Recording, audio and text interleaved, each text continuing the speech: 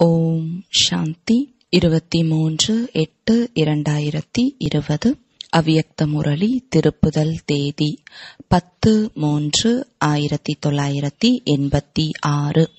கவலையற்ற மகாராஜா ஆவதற்கான வழிமுறை. இன்று பாப்தாதா கவலையற்ற மகாராஜாக்களின் சபையை பார்த்து கொண்டு இருக்கிறார். இந்த ராஜ்ய சபை முழு கல்பத்திலும் விசித்திரமான சபையாக இருக்கிறது. ராஜாக்கள் என்றாலே பலர் இருக்கிறார்கள். ஆனால் கவலையற்ற ராஜாக்கள். இந்த விசித்திரமான சபை இந்த சங்கம யுகத்தில் மட்டும்தான் நடைபெறும். இந்த கவலையற்ற ராஜாக்களின் சபையானது சத்தியுகத்தின் ராஜ்ய சபையை விடவும் உயர்வானது. ஏனென்றால் அங்கு ஏழ்மை மற்றும் செல்வந்தன் இந்த இரண்டிற்கும் உள்ள வேறுபடுத்தும் ஞானம் வெளிப்படாது. ஏழ்மை என்றால் தெரியவே தெரியாது. ஆனால் இப்பொழுது முழு உலகமும் ஏதாவது ஒரு கவலையில் இருக்கிறார்கள். காலை எழுவதிலிருந்து தன்னை பற்றி குடும்பத்தை பற்றி காரியங்களை பற்றி உற்றார் உறவினர்களை பற்றி ஏதாவது ஒரு கவலை ஏற்படுகிறது. ஆனால் நீங்கள் அனைவரும் அமிர்த வேலையிலிருந்து கவலையற்ற மகாராஜாவாக இருந்து அன்றைய நாளை ஆரம்பிக்கிறீர்கள் மற்றும் கவலையற்றவராகி ஒவ்வொரு காரியத்தையும் செய்கிறீர்கள். கவலையற்ற ராஜாவாகி ஓய்வாக உறக்கத்தை உறங்குகிறீர்கள். சுகத்தின் உறக்கத்தில் அமைதியான உறக்கத்தில் உறங்குகிறீர்கள். அப்படிப்பட்ட கவலையற்ற மகாராஜாவாக ஆகிவிட்டீர்கள். அப்படி ஆகிவிட்டீர்களா? அல்லது ஏதாவது கவலை இருக்கிறதா? தந்தையின் மீது பொறுப்பை கொடுத்துவிட்டால் கவலையற்றவர் ஆகிவிடலாம். தன் மீது தான் பொறுப்பு இருக்கிறது என்று புரிந்து கொண்டால் கவலை ஏற்படுகிறது. பொறுப்பு பாபாவினுடையது. மேலும் நான் நிமித்தமான சேவாதாரியாக இருக்கிறேன். நான் நிமித்தமான கர்மயோகி. செய்ய வைக்கக்கூடியவர் பாபா. நான் நிமித்தமாக இருந்து செய்கிறேன். ஒருவேளை ஒவ்வொரு நேரமும் இந்த நினைவு தானாகவே இருக்கிறது என்றால் எப்பொழுதுமே கவலையற்ற மகாராஜாவாக இருக்கலாம். ஒருவேளை தவறுதலாக கூட ஏதாவது தேவையற்ற உணர்ச்சிகளை தனது மீது சுமையாக எடுத்துக்கொண்டால் கிரீடத்திற்கு பதிலாக கவலையின் பலவிதமான கூடைகள் தலை மீது வந்துவிடுகிறது. இல்லையென்றால் எப்பொழுதும் ஒளியின் கிரீடத்தை அணிந்து கவலையற்ற ராஜாவாக இருக்கிறீர்கள். நான் மற்றும் தந்தை அவ்வளவுதான். மூன்றாவதாக வேறு யாரும் இல்லை. இந்த அனுபவம்தான் எளிதாகவே கவலையற்ற மகாராஜாவாக மாற்றுகிறது. எனவே கிரீடதாரியா அல்லது கூடையை சுமக்க கூடியவரா கூடையை சுமப்பது மேலும் கிரீடத்தை அணிந்து கொள்வது இதில் எவ்வளவு வித்தியாசம் இருக்கிறது? கிரீடம் அணிந்த ஒருவரையும் மேலும் சுமையை சுமக்க கூடியவரை கூடையை சுமக்க கூடியவரையும் முன்னால் நிறுத்தினீர்கள் என்றால் யாரை நீங்கள் விரும்புவீர்கள்? கிரீடத்தையா அல்லது பொதி சுமப்பவரையா? பல பிறவிகளின் பலவிதமான சுமைகள் என்ற கூடைகளை பாபா வந்து கீழே இறக்கி வைத்து லேசாக ஆக்குகிறார். கவலையற்ற ராஜா என்றாலே எப்பொழுதும் இரட்டை லேசாக இருக்கக்கூடியவர். எதுவரை ராஜ்ய அதிகாரி ஆகவில்லையோ அதுவரை இந்த கர்மேந்திரியங்கள் கூட தனது கட்டுப்பாட்டில் இருக்க முடியாது. ராஜ்ய அதிகாரியாக மாறினால்தான் மாயையை வென்ற கர்ம இந்திரியங்கள் மீது வெற்றி பெற்றவர் இயற்கையை வென்றவராக ஆகிறீர்கள். எனவே ராஜ்ய சபையில் அமர்ந்திருக்கிறீர்கள் அல்லவா? நல்லது. இன்று ஐரோப்பியர்களின் முறை ஐரோப்பா நல்ல முறையில் விரிவடைந்து உள்ளது. ஐரோப்பியர்கள் தனது அண்டை நாட்டிற்கு நன்மை செய்வதற்கான திட்டத்தை நன்றாக உருவாக்கி இருக்கிறீர்கள். எவ்வாறு பாபா எப்பொழுதும் நன்மை செய்பவராக இருக்கிறார்? அவ்வாறே குழந்தைகள் நீங்களும் கூட தந்தைக்கு சமமாக நன்மை செய்வதற்கான உணர்வு வைக்க வேண்டும். இப்பொழுது எவரை பார்த்தாலும் இவர் கூட தந்தையின் குழந்தையாக வேண்டும் என்ற கருணை வருகிறது அல்லவா? பாப்தாதா ஸ்தாபனையின் சமயத்தில் இருந்தே அயல் நாட்டில் உள்ள அனைத்து குழந்தைகளையும் ஏதாவது ஒரு முறையில் நினைவு செய்து கொண்டு இருக்கிறார். பாருங்கள் மேலும் பாப்தாதாவின் நினைவினால் நேரம் வரும் பொழுது நாலா பக்கத்தில் உள்ள குழந்தைகள் வந்து சேர்ந்து விட்டனர். ஆனால் பாப் தாதா வெகு காலமாகவே அழைத்து கொண்டு இருக்கிறார்.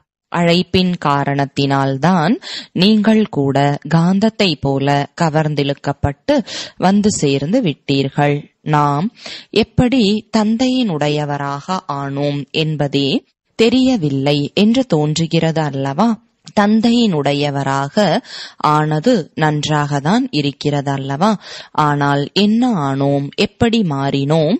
இதை அமர்ந்து யோசித்து பார்த்தீர்கள் என்றால் எங்கிருந்து எங்கு வந்து சேர்ந்து விட்டோம் என்று யோசிக்கும் பொழுது விசித்திரமாக தோன்றுகிறது அல்லவா நாடகத்தில் ஏற்கனவே நிச்சயிக்கப்பட்டு இருக்கிறது.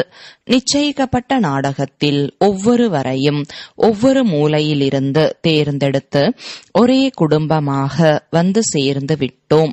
இப்பொழுது இந்த குடும்பம் தனது குடும்பமாக தோன்றும் காரணத்தினால் மிகவும் அன்பானதாக தோன்றுகிறது. தந்தை அன்பிலும் அன்பானவராக இருப்பதால் நீங்கள் அனைவரும் கூட அன்பானவர் ஆகிவிட்டீர்கள். நீங்களும் கூட குறைந்தவர்கள் அல்ல. நீங்கள் அனைவரும் கூட பாப் தாதாவின் தொடர்பின் வண்ணத்தில் மிகவும் அன்பானவராக ஆகிவிட்டீர்கள். யாரை வேண்டுமானாலும் பாருங்கள். எனவே ஒவ்வொருவரும் ஒருவர் மற்றவரையும் நேசிக்கிறீர்கள். ஒவ்வொருவரின் முகத்திலும் ஆன்மீக தன்மையின் தாக்கம் தென்படுகிறது. ஒப்பனை செய்ய வெளிநாட்டினர் விரும்புகின்றனர். எனவே ஃபரிஷ்தாக்களை உருவாக்குவதற்கான இடம் இதுதான். அந்த மாதிரி இந்த அலங்காரம் தேவதையாக மாற்றிவிடுகிறது. எப்படி? அலங்காரம் செய்த பிறகு யார் எப்படி இருந்தாலும் கூட அழகாக மாறிவிடுகிறார்கள். ஒப்பனை மூலம் மிகவும் அழகாக தோன்றிவிடுகிறார்கள். அதனால் இங்கும் கூட அனைவரும் ஜொலித்துக் கொண்டிருக்கும் ஃபரிஷ்தாவாக தோன்றுகிறீர்கள். ஏனென்றால் ஆன்மீக ஒப்பனை செய்துள்ளீர்கள். அந்த ஒப்பனையிலோ நஷ்டம் ஏற்படுகிறது. ஆனால் இதில் எந்த நஷ்டமும் இல்லை. எனவே அனைவரும் ஜொலித்துக் கொண்டிருக்கக்கூடிய அனைவருக்கும் அன்பான ஆத்மாக்களாக இருக்கிறீர்கள் அல்லவா? அதனால் இங்கு அன்பை தவிர வேறு ஒன்றும் இல்லை. எழுந்திருக்கிறீர்கள் என்றால் கூட அன்போடு காலை வணக்கம் செய்கிறீர்கள். உண்ணும் பொழுது கூட அன்போடு பிரம்மா போஜனம் உண்ணுகிறீர்கள்.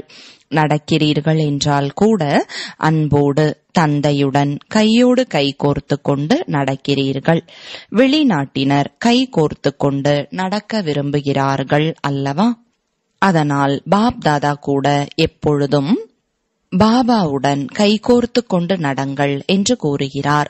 தனியாக செல்லாதீர்கள். தனியாகவே இருந்தீர்கள் என்றால் சில நேரம் சலிப்பு ஏற்பட்டுவிடும். சில நேரங்களில் மற்றவர்களின் பார்வையிலும் வருவீர்கள்.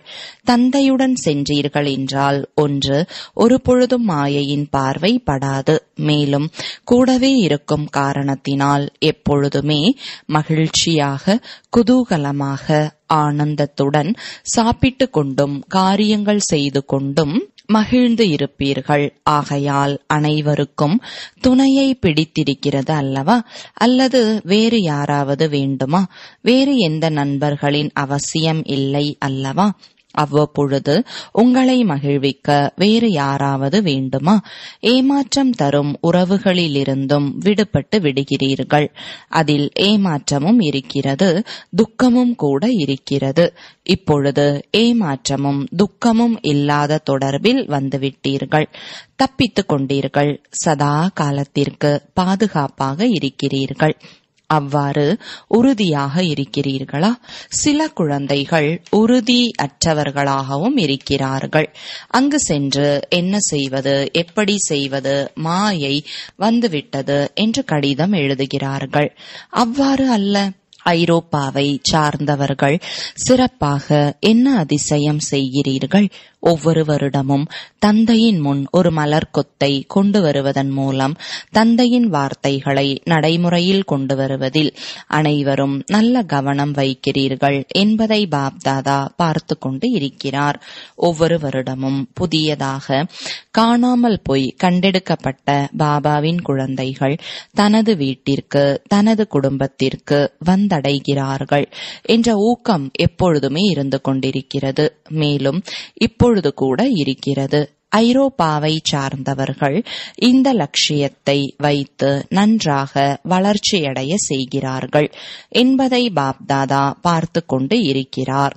எனவே பாபாவின் மகா வாக்கியங்களை கட்டளையை பின்பற்றக்கூடியவர்களை கட்டளைக்கு கீழ்ப்படிந்தவர் என்று கூறப்படுகிறது.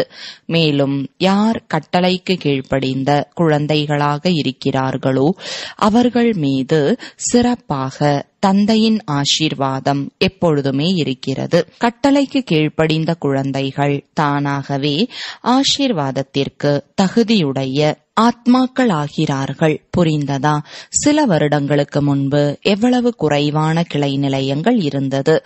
ஆனால் ஒவ்வொரு வருடமும் வளர்ச்சி அடைந்து பெரியதிலும் பெரிய குடும்பமாக ஆகிவிட்டது. அதனால் ஒன்றிலிருந்து இரண்டு இரண்டிலிருந்து மூன்று இப்பொழுது எத்தனை கிளை நிலையங்கள் ஆகிவிட்டது? ஐக்கிய நாடோ வேறு விதத்தில் பெரியதாகத்தான் இருக்கிறது. அனைவருக்கும் ஐக்கிய நாடுடன் தொடர்பு இருக்கிறது. ஏனென்றால் அயல் நாட்டின் அஸ்திவாரமே அதுதான் பல கிளை நிலையங்கள் உருவாகின்றன. மரமும் வளர்ச்சியை அடைந்து கொண்டே இருக்கிறது. ஆனால் தொடர்பு அஸ்திவாரத்துடன் தான் இருக்கிறது. ஒருவேளை அஸ்திவாரத்தோடு தொடர்பு இல்லை என்றால் பிறகு எப்படி வளர்ச்சியோ விரிவாக்கமோ ஏற்படும்? லண்டனில் சிறப்பான தனித்துவம் நிறைந்த ரத்தினத்தை நிமித்தமாக நியமிக்கப்பட்டு உள்ளது. ஏனென்றால் அஸ்திவாரம் அல்லவா? எனவே அனைவரின் தொடர்பு வழிகாட்டுதல் எளிதாகவே கிடைப்பதன் மூலம் முயற்சி மற்றும் சேவை இரண்டும் எளிதாகி விடுகிறது. பாப் தாதா கூடவே இருக்கிறார். பாப் தாதா இல்லாமல் ஒரு நொடி கூட இருக்கக்கூடாது. அந்த அளவிற்கு இணைந்து இருங்கள். ஆனாலும் கூட சாக்கார ரூபத்தில் சேவையின் சாதனங்களில் சேவையின் செயல் திட்டத்தில் மேலும் சுய முன்னேற்றத்திற்காகவும் ஏதாவது வழி தேவைப்படுகிறது என்றால் தொடர்பு வைக்கப்பட்டு இருக்கிறது. இது கூட நிமித்தமாக ஆவதற்கான சாதனம். இதன் மூலம் எளிதாகவே தீர்வு கிடைத்து விடுகிறது. சில சமயம் புத்தியை தெளிவாக வைக்காத காரணத்தினால் பாப் தாதாவின் வழிமுறையை சக்தியை உணர முடிவது இல்லை என்றால் அவ்வப்பொழுது மாயையின் புயல் வருகிறது. அப்படிப்பட்ட நேரத்திற்காக சாக்கார நிமித்தத்தின் அவசியம் தேவைப்படுகிறது. இவர்களை தாதிகள் தீதிகள் என்று நீங்கள் கூறுகிறீர்கள். இவர்கள்தான் நிமித்தமானவர்கள். இவர்கள் நேரம் வீணாகாது. மற்றபடி தைரியமானவர் என்று பாப் தாதாவிற்கு தெரியும். அங்கிருந்தே உருவாகி மேலும் அங்கேயே சேவைக்கு பொறுப்பாக ஆகியிருக்கிறீர்கள். என்றால் தானம் என்பது வீட்டிலிருந்து துவங்க வேண்டும் என்ற பாடத்தை நல்ல முறையில் உறுதி செய்துள்ளீர்கள். அங்கே இருக்கும் நிமித்தமானவரை வளர்ச்சியடைய செய்வது இது மிகவும் நல்லது. நன்மை செய்யும் உணர்வின் மூலம் முன்னேறிக் கொண்டே இருந்தீர்கள் என்றால் எங்கே திடமான எண்ணங்கள் இருக்கிறதோ அங்கே வெற்றிதான் எது நடந்தாலும் சேவையில் வெற்றியடைய வேண்டும். இந்த உன்னதமான எண்ணத்தின் மூலம் இன்று வரை வெளிப்படையான பலம் கிடைக்கிறது. இப்பொழுது உயர்ந்த குடும்பத்தை பார்த்து விசேஷமான மகிழ்ச்சி ஏற்படுகிறது. மேலும் விசேஷமாக பாண்டவர்கள்தான் ஆசிரியர் ஆகிறார்கள். சக்திகளும் எப்பொழுதும் உதவியாளர்களாக இருக்கவே இருக்கிறார்கள். பாண்டவர்கள் மூலம் விசேஷமாக எப்பொழுதுமே சிறப்பான வளர்ச்சியின் வெளிப்படையான பலன் கிடைத்துக் கொண்டே இருக்கிறது. மேலும் சேவையின் மூலம் கூட அதிகப்படியான சேவை நிலையங்களின் வளர்ச்சி சேவை நிலையத்தின் அழகு சக்திகளின் மூலம் ஏற்படுகிறது. சக்திகளுக்கு என்று தனித்துவமான நடிப்பு இருக்கிறது. பாண்டவர்களுக்கு என்று தனித்துவமான நடிப்பு இருக்கிறது. எனவே இருவருமே அவசியமானவர்கள்தான். எந்த கிளை நிலையத்தில் சக்திகள் இல்லை அல்லது பாண்டவர்கள் இல்லை என்றாலும் சக்திசாலியாக இருக்காது. ஆகையால் இருவருமே அவசியமானவர்கள். இப்பொழுது நீங்கள் அனைவரும் விழித்துக் கொண்டு இருக்கிறீர்கள் என்றால் ஒருவர் மற்றவர்களோடு எளிதாகவே அநேகர் விழித்துக் கொள்வார்கள். முயற்சி மற்றும் நேரம் தேவைப்படுகிறது. ஆனால் இப்பொழுது நல்ல முறையில் வளர்ச்சி அடைந்து கொண்டு இருக்கிறது. திட எண்ணத்தின் மூலம் வெற்றி கிடைக்கவில்லை என்பதே இல்லை. இந்த நடைமுறை நிரூபணத்தை பார்த்து கொண்டு இருக்கிறோம். ஒருவேளை இங்கே இருக்க வேண்டிய அவசியமில்லை என்று சிறிதளவு மனமுடைந்து போனால் தனது சின்னஞ்சிறிய பலவீனமான எண்ணத்தால் சேவையில் கூட வித்தியாசத்தை கொண்டு வந்து விடுகிறது. திடத்தன்மை என்ற நீரினால் விரைவாகவே பலன் ஏற்படுகிறது. திடத்தன்மையின் மூலம்தான் வெற்றி கிடைக்கிறது. நல்லது. பரமாத்மாவின் ஆசீர்வாதங்களை அடைய வேண்டும் என்றால் கட்டளைக்கு கீழ்ப்படிந்தவர் ஆகுங்கள். என்ன தந்தை கூறுகிறாரோ அப்படியே செய்வது. தந்தை கூறுகிறார் மேலும் குழந்தைகள் கடைபிடிப்பது.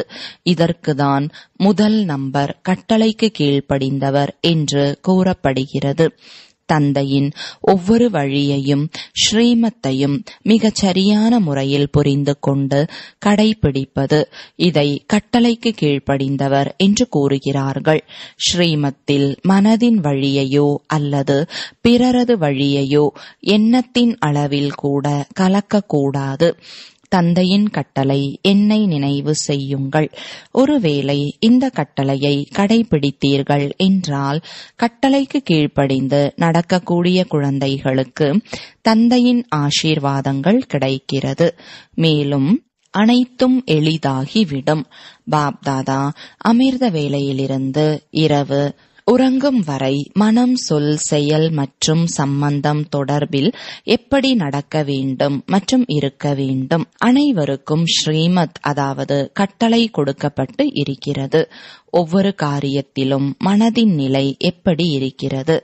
அதற்கு கூட வழிமுறை அல்லது கட்டளை கிடைத்திருக்கிறது. அந்த கட்டளைப்படி நடந்து கொண்டே இருங்கள். இதுதான் பரமாத்மாவின் ஆசீர்வாதங்களை அடைவதற்கான ஆதாரம். இது போன்ற ஆசீர்வாதங்களின் காரணத்தினால் கட்டளைக்கு கீழ்ப்படிந்துள்ள குழந்தைகள் எப்பொழுதும் இரட்டை லேசாக பறக்கும் கலையின் அனுபவத்தை செய்கிறார்கள். பாப் தாதாவின் கட்டளை எந்த ஆத்மாவிற்கும் துக்கத்தை தரக்கூடாது துக்கத்தை எடுக்கக்கூடாது ஆனால் பல குழந்தைகள் துக்கத்தை தருவது இல்லை துக்கத்தை எடுக்கிறார்கள். இது கூட வீணான எண்ணங்கள் வருவதற்கான காரணமாகிவிடுகிறது. ஏதாவது வீணான விஷயத்தை கேட்டு துக்கமடைகிறார்கள். சிறிய சிறிய கட்டளைகளை புறக்கணிப்பதால் கூட மனம் சுமையாகி விடுகிறது மேலும் சுமையிருக்கும் காரணத்தினால் உயர்ந்த நிலையை அடைய பறக்க முடிவது இல்லை. பாப் தாதாவின் கட்டளை கிடைத்திருக்கிறது. குழந்தைகளே வீணானவற்றை யோசிக்காதீர்கள். வீணானவற்றை கேட்காதீர்கள். வீணானவற்றின் காரியத்தில் சமயத்தை வீணாக்காதீர்கள். நீங்கள் தீயவற்றிலிருந்து விடுபட்டு விட்டீர்கள். இப்பொழுது அப்படிப்பட்ட கட்டளைக்கு கீழ்ப்படிந்த குணத்தை ஓவியமாக மாற்றினீர்கள் என்றால் பாப் தாதாவின் ஆசீர்வாதங்களின் அதிகாரி ஆகிவிடலாம். குழந்தைகள் அமிர்த வேலையிலிருந்து விதிப்படி சக்திசாலியான நினைவில் இருங்கள். ஒவ்வொரு காரியத்தையும் கர்மயோகியாகி நிமித்த உணர்வோடு பணிவாக இருந்து செய்யுங்கள். அவ்வாறு அனைவருக்கும் பார்வை உள்ளுணர்விற்கான கட்டளை கிடைத்திருக்கிறது. ஒருவேளை அந்த கட்டளைகளை விதிப்படி பின்பற்றினால் எப்பொழுதுமே அத்தீந்திரிய சுகத்தின் மற்றும் மகிழ்ச்சி நிறைந்தவர் அமைதியான அமைதியான மனநிலையை அனுபவம் செய்து கொண்டே இருப்பீர்கள்.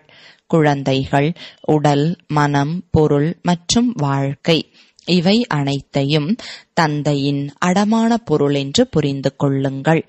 நல்ல எண்ணங்களை எண்ணுங்கள். நேர்மறையாக யோசியுங்கள். நல்ல உணர்வின் எண்ணங்களை எண்ணுங்கள். உடல் உணர்வின் நான் மற்றும் எனது என்பதிலிருந்து விலகியிருங்கள். இந்த இரண்டும் மாயையின் நுழைவு வாயில். எண்ணம் சமயம் மற்றும் சுவாசம்தான் பிராமண வாழ்க்கையின் விலை மதிப்புடைய பொக்கிஷமாகும். இதை வீணாக இழக்காதீர்கள். சேமியுங்கள். சக்திசாலியாக இருப்பதற்கான ஆதாரம் எப்பொழுதும் மற்றும் இயல்பாகவே கட்டளைக்கு கீழ்ப்படிந்தவர் ஆகுங்கள். பாப் தாதாவின் முக்கிய முதன்மையான கட்டளை தூய்மை ஆகுங்கள் காமத்தை வென்றவர் ஆகுங்கள். இந்த கட்டளையை பின்பற்றுவதில் பெரும்பான்மையானோர் தேர்ச்சி அடைந்து விடுகிறார்கள். ஆனால் அதனுடைய அடுத்த சகோதரன் கோபம். அதில் அவ்வப்பொழுது பாதி பேர் தோல்வியடைந்து விடுகிறார்கள். பலர் கூறுகிறார்கள் கோபப்படவில்லை ஆனால் சிறிதளவு வெறுப்பை காட்ட வேண்டி இருக்கிறது ஆனால் இது கூட கட்டளையை அவமதிப்பது ஆகும். இது மகிழ்ச்சியின் அனுபவத்தை செய்ய விடுவது இல்லை. எந்த குழந்தை அமிர்த வேளையிலிருந்து இரவு வரை முழு நாளின் தினசரி நடவடிக்கைகளில் ஒவ்வொரு காரியத்திலும் கட்டளைப்படி நடக்கிறார்களோ அவர்கள் ஒரு பொழுதும் உழைப்பில் கடினத்தன்மையை அனுபவம் செய்வது இல்லை. அவர்களுக்கு கட்டளைக்கு கீழ்ப்படிந்து நடப்பதன் விசேஷமான பலனாக தந்தையின் ஆசீர்வாதம் அனுபவம் ஆகிறது. அவர்களின் ஒவ்வொரு காரியமும் பலனளிக்க கூடியதாக இருக்கிறது. யார் கட்டளைக்கு கீழ்ப்படிந்து நடக்கும் குழந்தைகளாக இருக்கிறார்களோ அவர்கள் எப்பொழுதும் திருப்தியை அனுபவம் செய்கிறார்கள். அவர்களுக்கு இயல்பாகவே மூன்று விதமான திருப்தி எப்பொழுதும் அனுபவமாகிறது. ஒன்று அவர்கள் தன்மீது திருப்தியாக இருக்கிறார்கள். இரண்டாவது விதிப்படி காரியம் செய்யும் காரணத்தினால் வெற்றி என்ற பலனை அடைவதில் எப்பொழுதும் திருப்தியாக இருக்கிறார்கள். மூன்றாவது சம்பந்தம் மற்றும் தொடர்பில் கூட அவர்கள் மூலம் அனைவரும் திருப்தியாக இருக்கிறார்கள். கட்டளைக்கு கீழ்ப்படிந்து நடக்கும் குழந்தைகளின் ஒவ்வொரு காரியமும் கட்டளைப்படி இருக்கும் ஞானத்தினால் உன்னதமானதாக இருக்கிறது. ஆகையால் எந்த ஒரு செயலும் புத்தி அல்லது மனதின் தடுமாற்றத்தை நிலையற்றதாக உணர்வது இல்லை. சரியா அல்லது தவறா என்ற எண்ணம் கூட வருவது இல்லை. அவர்கள் கட்டளைப்படி நடக்கும் காரணத்தினால் எப்பொழுதும் லேசாக இருக்கிறார்கள். ஏனென்றால் அவர்கள் கர்ம பந்தனத்திற்கு வசமாகி எந்த காரியமும் செய்யவில்லை. ஒவ்வொரு காரியமும் கட்டளைப்படி செய்யும் காரணத்தினால் பரமாத்மாவின் ஆசீர்வாதத்தை அடைவதற்கான பலன் சொரூபம். அவர்கள் எப்பொழுதுமே ஆத்மீக சக்தியின் அத்தீந்திரிய சுகத்தின் மேலும் நிறைந்த தன்மையை அனுபவம் செய்கிறார்கள். நல்லது. ஆன்மீக தந்தைக்கு ஆன்மீக குழந்தைகளின் அன்பு நினைவுகளும் வணக்கங்களும். வரதானம் உண்மையான துணைவரின் துணையை பெறக்கூடிய அனைவரிடமும் விடுபட்ட அன்பான பற்றற்றவர் ஆகுக. விளக்கம். தினமும் அமிர்த வேளையில் அனைத்து சம்பந்தங்களின் சுகத்தை பாப்தாதாவிடமிருந்து பெற்று மற்றவர்களுக்கும் தானம் கொடுங்கள். அனைத்து சுகத்தின் அதிகாரியாகி மற்றவர்களையும் ஆக்குங்கள்.